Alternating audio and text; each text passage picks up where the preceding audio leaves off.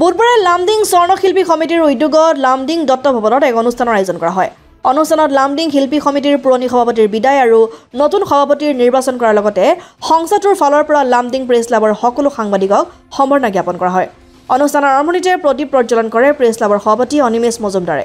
নিখিল আছাম স্বৰ্ণ শিল্পী সমিতিৰ পুৰণি সভাপতি মন্টু ৰঞ্জন তালুকদাৰক বিদায় জনোৱাৰ লগতে নতুন সভাপতিৰ দায়িত্ব গ্ৰহণ কৰে সুমন ধৰে। স্বৰ্ণশিল্পীসকলৰ বিভিন্ন সমস্যা আলোচনা কৰা হয়। বৰ্তমান সোণৰ মূল্যবৃদ্ধি হোৱাত আৰু অনলাইন শ্বপিঙৰ বাবে সাধাৰণ ৰাইজৰ লগতে স্বৰ্ণশিল্পীসকলৰ ওপৰত ইয়াৰ প্ৰভাৱ পৰিছে বুলি চিন্তিত হৈ পৰিছে লামডিং স্বৰ্ণশিল্পীসকল হয় গভৰ্ণমেণ্টৰ ওচৰত আমি দাবী জনাম যে অনলাইন ব্যৱসায়টো যদি বন্ধ কৰি এইটোতো সম্ভৱ নহয় কেতিয়াও।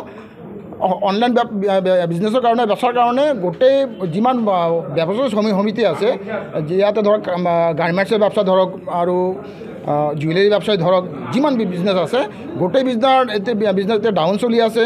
তেওঁ গভৰ্ণমেণ্টৰ আমাৰ ব্যৱসায়ীসকলৰ পৰা অলপ লক্ষ্য ৰাখিব লাগে। তেওঁলোকে মানে আৰ্থিক সহযোগিতা কেনেকুৱা বৃদ্ধি হ'ব এইটো গভৰ্ণমেণ্টৰ অলপ নজৰ দিব লাগে। আমি গভৰ্ণমেণ্টৰ ওচৰত ওচৰত জনাম। এইবিলাক গভৰ্ণমেণ্টে যদি অলপ নজৰ দিয়ে তেনেহ'লে ভাল হ'ব। অসম আদিত্য লামডিং।